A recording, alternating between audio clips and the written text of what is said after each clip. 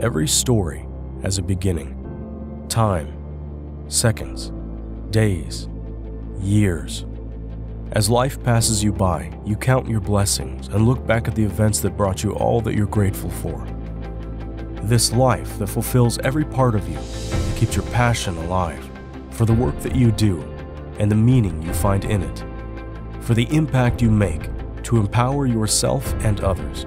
But you didn't stumble upon any of this. You made sacrifices to put your immediate comfort aside, to face your fears and embrace the struggle and hardship. You took control of the moment. You guided your own fate with a belief in a future that you and only you could clearly envision. You decided to own that future and bravely do what was needed to get you there. Every story has a beginning. Let yours begin at SIM.